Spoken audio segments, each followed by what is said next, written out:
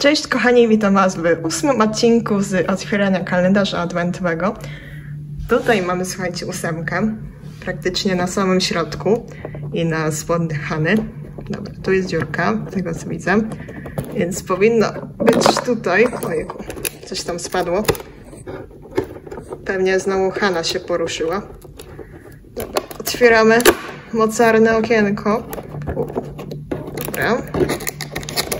Co to jest? Na razie nie widzę za bardzo, co to może być.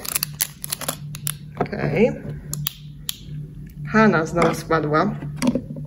Tak, w poprzednim odcinku, no to dzisiaj też spadła z konia, prawie. I kapelusz zleciał. Szybko to poprawię. Wow. Widzicie, co się? Masakra jest z tą Haną. Mam nadzieję, że w następnych okienkach którymś z najbliższych odcinków trafi się siodło, żeby ona w końcu nie spadała. No, powiedzmy.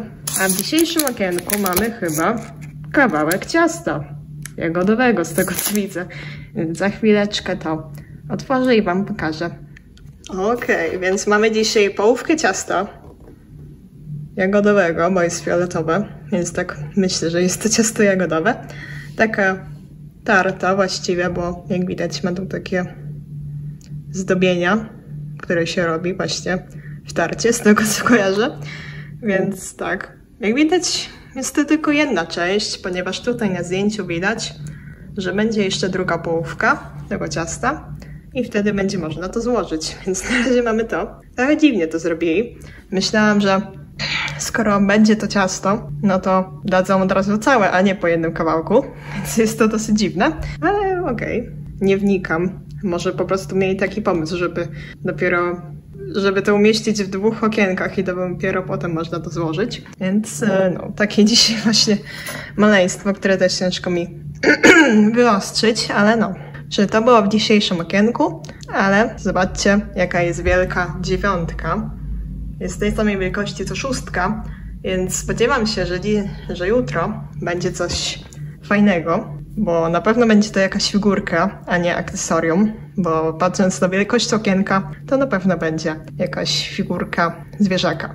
Liczę na pieska, ewentualnie na wiewiórkę, także zobaczymy, co się trafi, bo źrebak raczej tutaj nie będzie, nie sądzę. Ale liczyłabym właśnie na wiewiórkę, ewentualnie na yy, pieska, który chyba ukrył się tutaj za koniem taktu. No. Także tak, to będzie wszystko w tym dzisiejszym odcinku. Dziękuję Wam za oglądanie. Zostawcie łapkę w górę, jak się Wam podobało. Zostawcie jakiś fajny komentarz i zasubskrybujcie kanał i, i kliknijcie dzwoneczek, aby być na bieżąco ze wszystkimi filmami, które dla Was nagrywam. Odcinki z kalendarza pojawiają się codziennie, aż do 24 grudnia, a inne filmy będą raczej w weekendy. No.